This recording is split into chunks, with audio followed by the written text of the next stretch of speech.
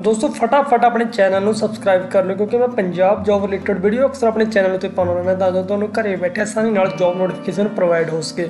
ਤੇ ਅੱਜ ਦੀ ਵੀਡੀਓ ਵਿੱਚ ਆਪਾਂ ਗੱਲ ਕਰਾਂਗੇ ਆਈਬੀਪੀਐਸ ਯਾਨੀ ਬੈਂਕ ਵਿੱਚ ਕਲਰਕ ਦੀ ਜੌਬ ਵੈਕੈਂਸੀ ਦੋਸਤੋ, ਕਾਫੀ ਚੰਗੀ ਜੌਬ ਵੈਕੈਂਸੀ ਅਨਾਉਂਸ ਕੀਤੀ ਹੈ।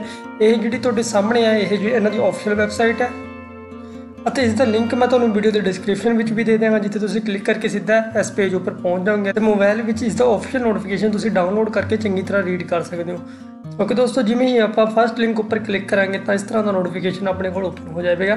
ਇੱਥੇ ਆਪਾਂ ਚੈੱਕ ਕਰ ਸਕਦੇ ਹਾਂ ਇਸ ਦੀ ਲਾਸਟ ਡੇਟ ਜਿਹੜੀ 6/11/2020 ਇਹਨਾਂ ਨੇ ਦੱਸੀ ਹੋਈ ਹੈ ਤੇ ਬਾਕੀ ਮੇਨ ਮੇਨ ਜਾਣਕਾਰੀ ਤੁਹਾਨੂੰ ਮੈਂ ਦੱਸ ਦਿੰਦਾ, ਬਾਕੀ ਇੱਕ ਵਾਰੀ ਚੰਗੀ ਤਰ੍ਹਾਂ ਰੀਡ ਕਰਕੇ ਤੁਸੀਂ ਫਿਰ ਇਸ ਪੋਸਟ ਨੂੰ ਅਪਲਾਈ ਕਰਨ ਦੀ ਕੋਸ਼ਿਸ਼ ਕਰਿਓ।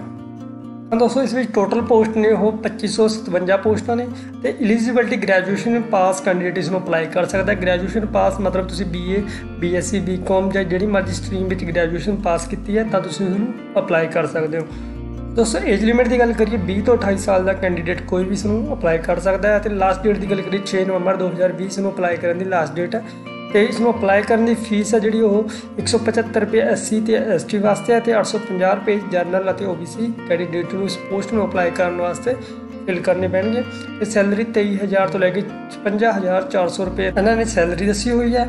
ਤੇ ਅਪਲਾਈ ਕਿਵੇਂ ਕਰਨਾ ਦੋਸਤੋ, ਇਸ ਦਾ ਲਿੰਕ ਤੁਹਾਨੂੰ ਵੀਡੀਓ ਦੇ ਡਿਸਕ੍ਰਿਪਸ਼ਨ ਵਿੱਚ ਮਿਲ ਜੂ। ਬਾਕੀ ਤੁਹਾਨੂੰ ਮੈਂ ਮੇਨ ਥੋੜੀ ਜਿਹੀ ਜਾਣਕਾਰੀ ਦੱਸ ਦਿੰਦਾ, ਤੁਸੀਂ ਕਿਵੇਂ ਅਪਲਾਈ ਘਰੇ ਬੈਠੇ ਆਪਣੇ ਮੋਬਾਈਲ ਤੇ ਕਰ ਸਕਦੇ ਹੋ। ਜਦੋਂ ਦੋਸਤੋ ਤੁਸੀਂ ਲਿੰਕ ਤੇ ਕਲਿੱਕ ਕਰੋਗੇ ਤਾਂ ਇਸ ਪੇਜ ਉੱਪਰ ਪਹੁੰਚ ਜਾਓਗੇ ਇੱਥੇ।